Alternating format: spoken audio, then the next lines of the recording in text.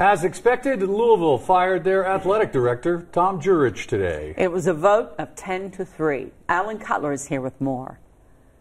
Well, since I don't want to pay Jurich, it was done with cause. He was on paid leave after the FBI allegations that Adidas paid athletes to attend schools they had contracts with.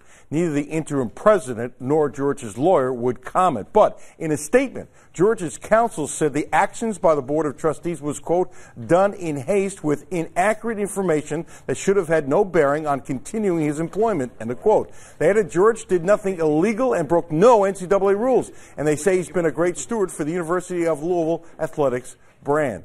Now, Jurich isn't going away anytime soon. His lawyers say Tom wants them to defend his rights and reputation. Pitino isn't going away either. He's been subpoenaed by the FBI, and he'll talk about passing a lie detector test for them, for the feds.